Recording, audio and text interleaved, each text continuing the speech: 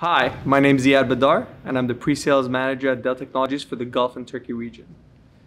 And I wanted to discuss with you today a very important topic.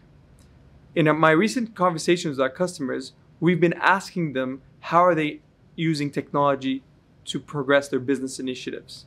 And what we keep hearing is they want to leverage the cloud. The question is, how can we leverage the cloud?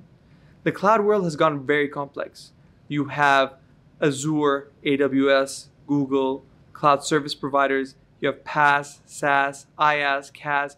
The amount of platforms you can run are huge, which leads us to choice, and choice makes everything much more complex.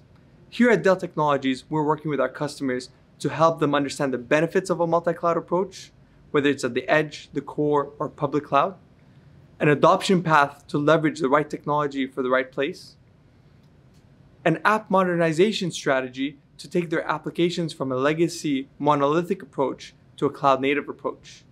And of course, building a cloud blueprint for them to deploy their applications on the right cloud at the right time, all the while avoiding any kind of lock-in, ensuring security, and maximizing performance.